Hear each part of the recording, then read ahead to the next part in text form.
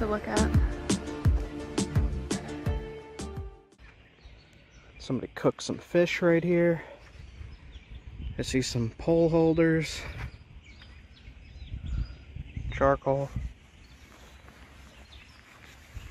Somebody cooked fish there. And there. There's probably huge fish in here. Man. Just walk around a little bit. I really, I really love spots like this.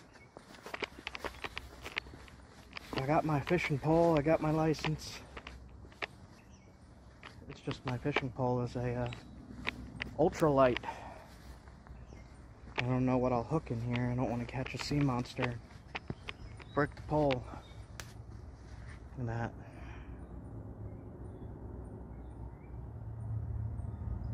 What an awesome spot.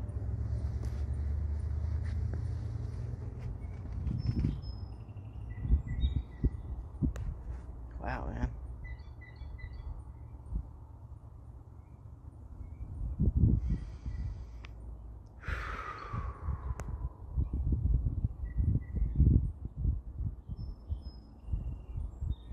Spot like this, this is so freaking beautiful, man.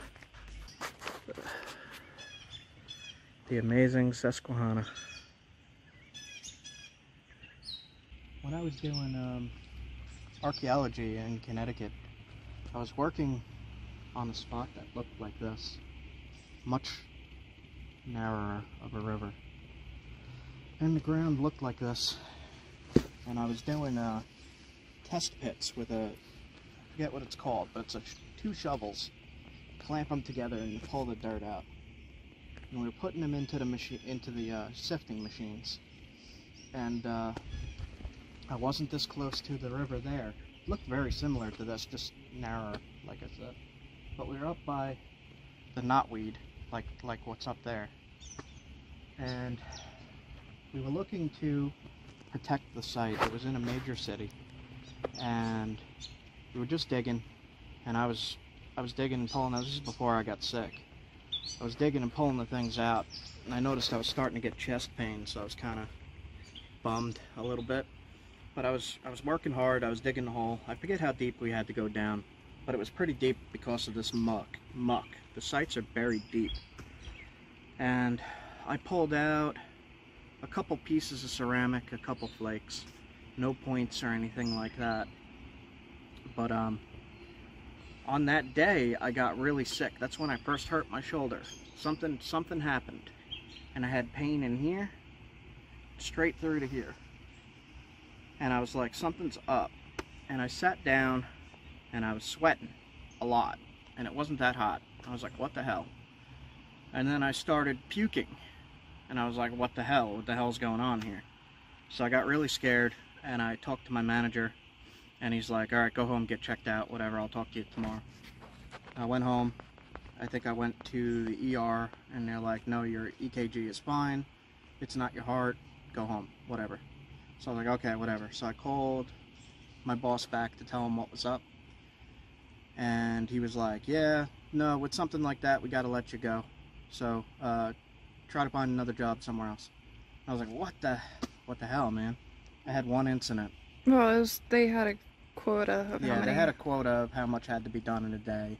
And because I got sick, they fell behind on the quota. And I guess me getting sick screwed them. So but this spot here reminds me of that. And uh, I did find pottery, ceramics, um, woodland, woodland period stuff. So I don't know what happened with that site or anything because I got laid off, fired, whatever you want to call it. But still good memories. I love doing that stuff. And I'm going to be doing it again. Soon. Soon, soon. So for anyone uh, new to the channel, uh, with that story, I had thyroid cancer. That's what was wrong. They fixed it six years ago now. They took it out. I'm good to go. I have some side effects, uh, but I'm still doing this kind of stuff, so I am good. But that's uh, that's what happened. Orthopedic doctor wanted to do an MRI of my shoulder And when they did the MRI of the shoulder, they saw the cancer in my thyroid. So then I never got my shoulder fixed because I had to go get the cancer fixed. So now I'm trying to fix the shoulder and I'm in physical therapy right now. I have a week off from physical therapy. Uh, they canceled, not me. So I figured I'd come do this and film. Well, this And- is its own kind of healing. Yeah. I always want to go in, but the fish. Fish chase, chasing little fish. All right, let's go make sure we aren't getting towed. Cause I hear it. Yep. I hear thing. All right, so I am going to get back on the road. Maybe I'll go over that, stop some places. I don't know. I'm kind of just winging this whole trip, but I'm loving it so far. So, come on, guys, let's go. We got stuff to do. We can't just stare at a pretty river forever. sure, sure we could. Sure we could. All right, heading out.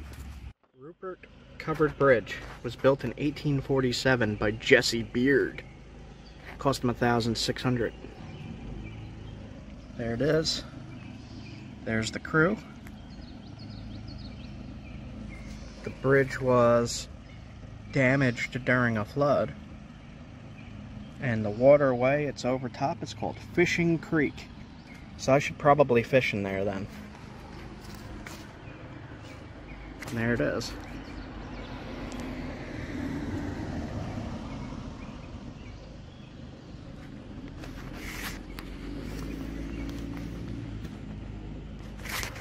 So there is Fishing Creek.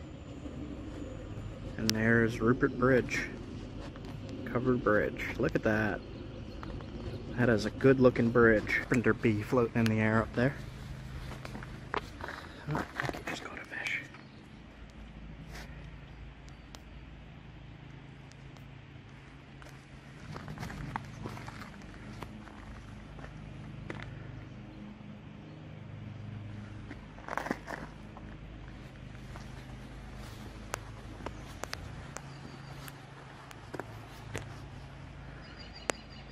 There's some beautiful creeks around here.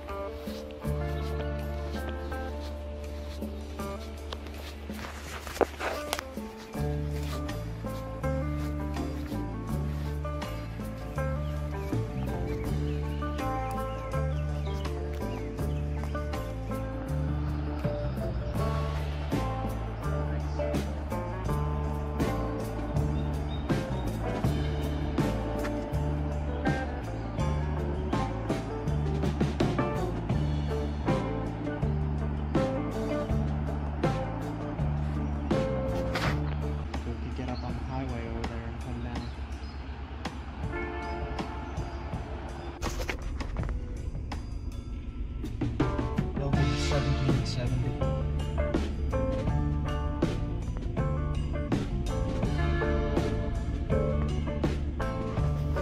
Looks like ship logs. Truck is having issues. Jeez. Bet you that's what dinosaurs sounded like.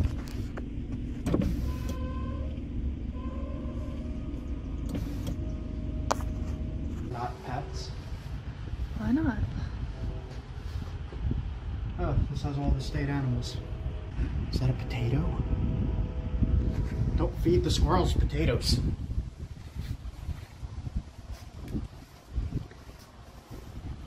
It's another spot along the Susquehanna.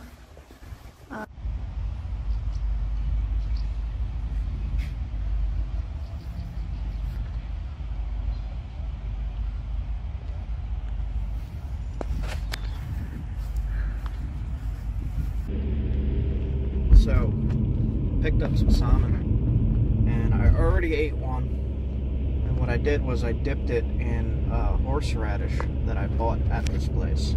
The place is called Wild for Salmon, and it is amazing. That is like the best salmon I've ever had. And I split it with Leia.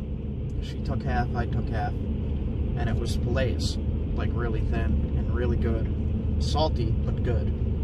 And then this is a um, traditional smoked. So I'm gonna try this in a little bit. It's still thawing. It's already cooked, it's already smoked. It says ready to eat. And that was super spicy, super good. My nose is still running from it.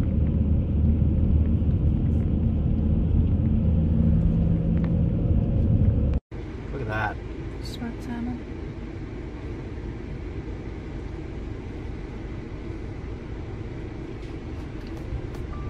Wow.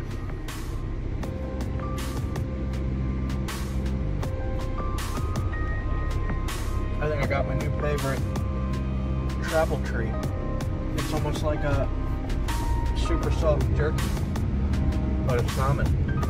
Mm.